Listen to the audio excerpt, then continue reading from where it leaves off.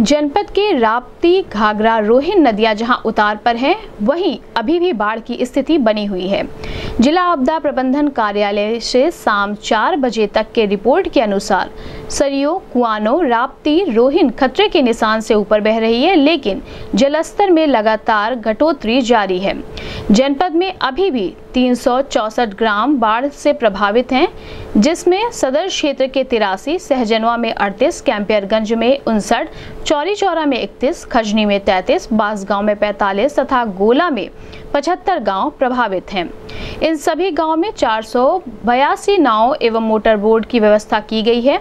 इसके अलावा medical team के द्वारा दवाओं का वितरण, पशु चिकित्सक एवं भूसा भंडारण सहित एनडीआरएफ, एसडीआरएफ की टीमें भी तैनात की गई हैं।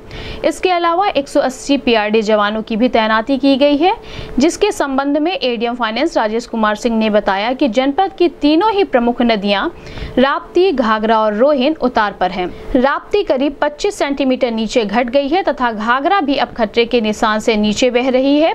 एक सप्ताह के अंदर नदियों का जलस्तर कम होने की संभावना है। उन्होंने बताया कि जनपद में लगभग 300 गाँव बाढ़ प्रभावित हैं। अब तक 3500 से अधिक राशन किट का वितरण किया जा चुका है तथा हर तहसील और हर गाँव में प्रयास किया जा रहा है कि राशन का वितरण तत्परता से किया जाए। उन्होंने बताया कि साढ़े चार सौ से ऊपर नाव की व्यवस्था की गई है। अगर किसी को नाव की डिमांड है तो उनको उपलब्ध कराया जा रहा है। इस संबंध में गोरखपुर न्यूज़ से बात करते हुए एडीएम फाइनेंस राजेश कुमार सिंह ने कहा।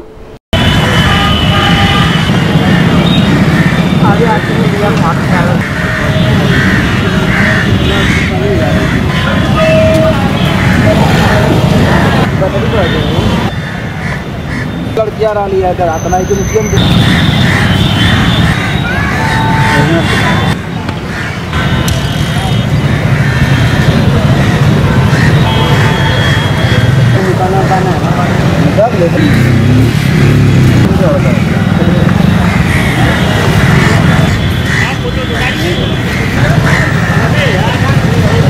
बाढ़ को लेकर जनपद में क्या स्थिति? जनपद गोरखपुर की दो प्रमुख नदियाँ, राप्ती और घाघरा, दोनों ही उतार पे हैं। राप्ती लगभग 25 पॉइंट 25 सेंटीमीटर नीचे घट गई है। घाघरा भी अब खतरे के निशान के आसपास ही बह रही है और ऐसा प्रतीत हो रहा है कि अगले एक सप्ताह तक जो नदियों का जलस्तर है वो कम हो जाएगा और बाढ़ से काफ़ी कुछ राहत मिल जाएगी। सर, बाढ़ पीड़ितों से राहत के लिए क्या क्या कार्य किया जनपद में लगभग 300 गाँव बाढ़ से प्रभावित हैं। अब तक पैंतीस हज़ार से अधिक राशन किट का वितरण किया जा चुका है।